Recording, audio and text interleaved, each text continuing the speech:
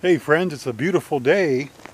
Kind of warm today. I think it's going to be about 111, but it's early and the girls and I are out.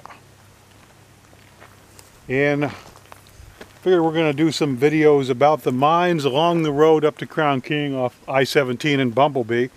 Um, and this is like one of the first digs that you come to. There's another little prospect up the way here. I think it's called the Blanchiana. But this is really the first one of note. And this is the Gloryana mine, or Gloryana, or however you want to pronounce that. But it's a gold, copper, and silver deposit. And this is a nice big pit here.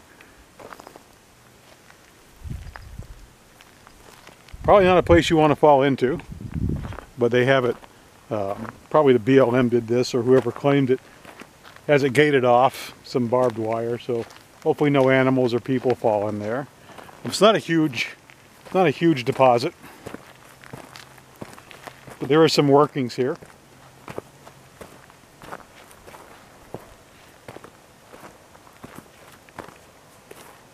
Looks like some old shaft entrance there, probably some access, some way to access it. Of course, we're not going to try to get into it or do anything like that. Years ago, there was a, a pretty large pile of core samples over here anybody who walked up here would see them, but they're long gone. Really kind of beautiful, historic place. You have a great view of the Bradshaw Mountains here.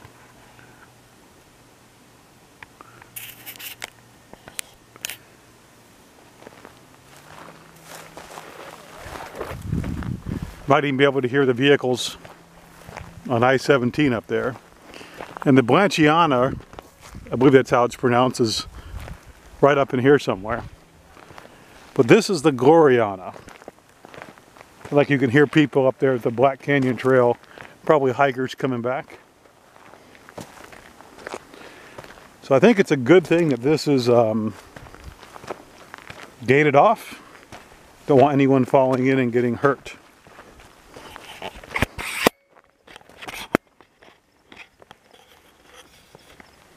It's a long, long way down.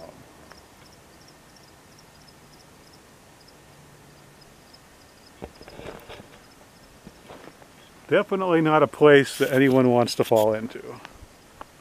Especially this young lady. You don't want to fall in there? No. Okay. Doesn't sound like a good time. Doesn't sound like a good time? No. Does not sound like a good time to these these beautiful ladies here. Doesn't sound a good idea to me either. And here's the golden fox hanging out Yeah. on a rock. This road keeps going. There's a lot more digs up the road here. We'll keep taking a look. We might walk across the street over here. There's a little bit more to this across the street. Maybe we'll go down there and take a look.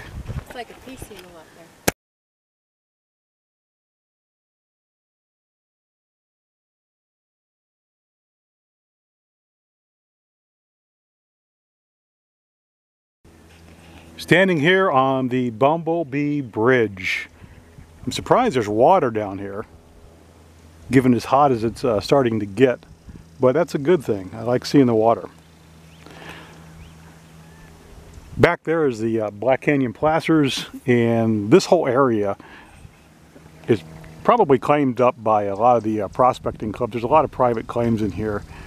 Beautiful area, great area for uh, nugget shooting, dry washing, and all that good stuff.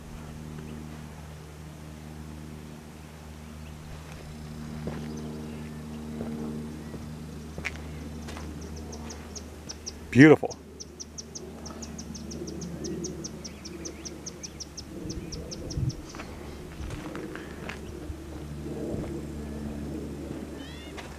As an introduction to this area, definitely a good little area to get started in.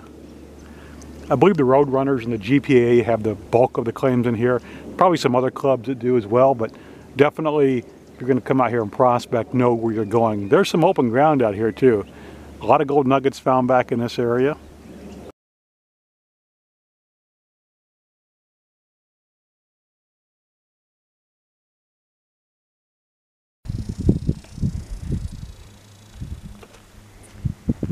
Walking around the hidden treasure mine.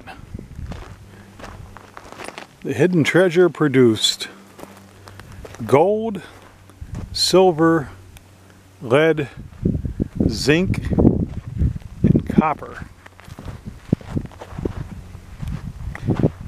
It's right across the road from Government Spring.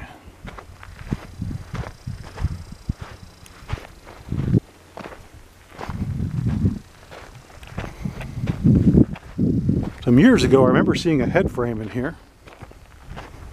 I don't believe that head frame is still here anymore.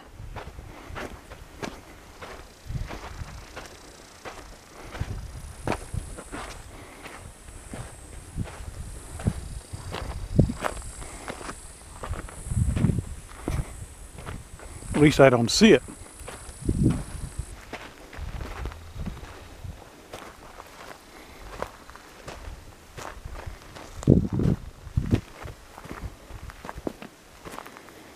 Some old trash.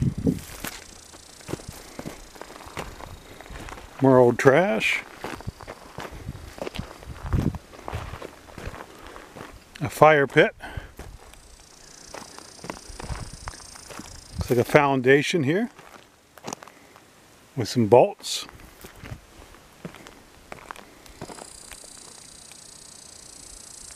See the road going up the hill there.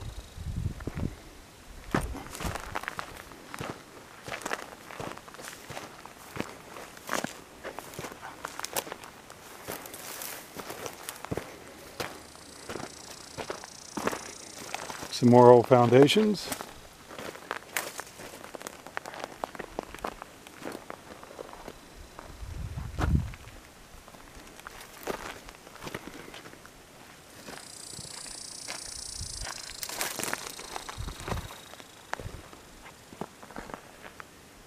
Quite a bit of mine dump tailings here. A lot of waste rock.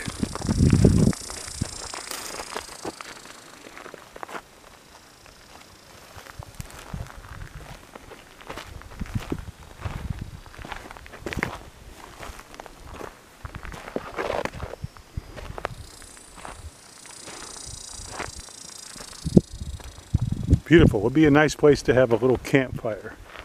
Nice view. Gorgeous. A little bit too dry right now to have a campfire. And remember, safety first, kids.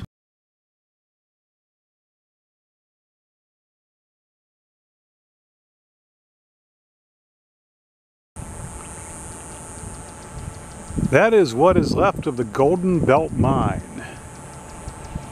And up here on this hill to my right is what's left of the St. John's. There's a sign here. It says site restoration in progress. Please stay out. Bradshaw Ranger District, Prescott National Forest. So we will obey that sign. The Golden Belt Mine produced gold, silver, and lead. It probably produced one other commodity and I just can't remember what it is. You can look it up. It'd Be a good educational opportunity. And around the corner, the road goes up to the right. There's the uh, Fairview Group. So right in this little area we have the Golden Belt. We also have the Silver Pheasant, the St. John's, and the Fairview. A few miles up from around the corner where the Fairview is, or about a mile actually, a mile and a half, they will be the little town of Cleator. Good place to get a beer. So we'll continue on our journey. We're going to go up and check our property in Crown King, and we'll see you kids in a little while.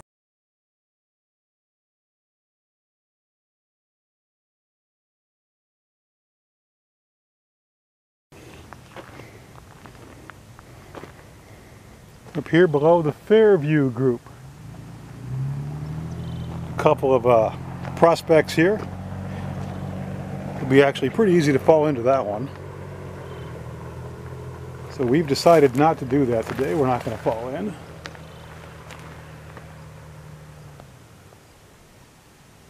Very pretty out. Lots of digs between here and that dike. Outcrop up there.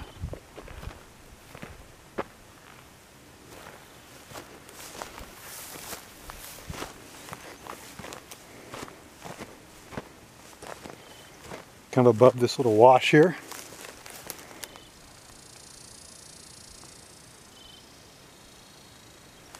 I think our next stop is going to be Cleator.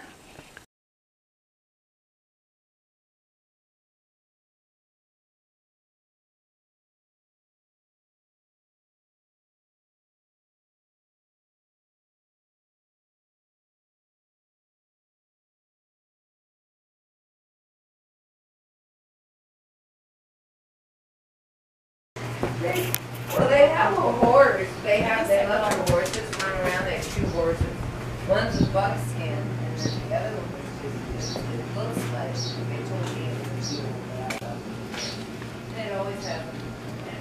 So I told back. Right here in the Cleator Bar.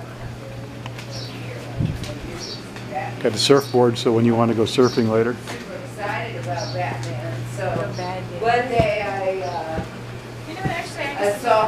Some there, deer to eat. Go to and I go, hello.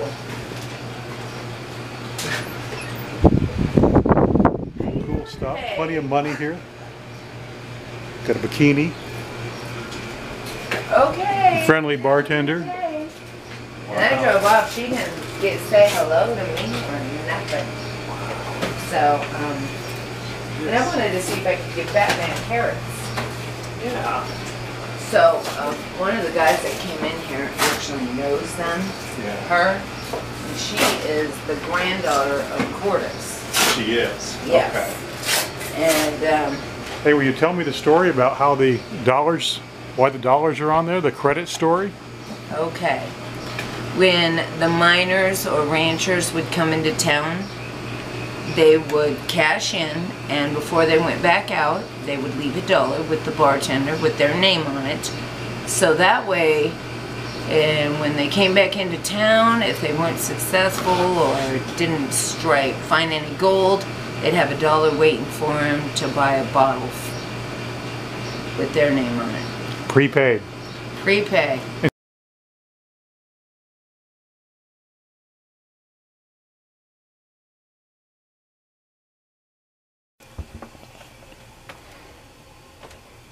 Here's the bathroom instructions. Please, due to water shortage, if it's yellow, let it mellow. If it's brown, flush it down. That is awesome, and it totally makes sense.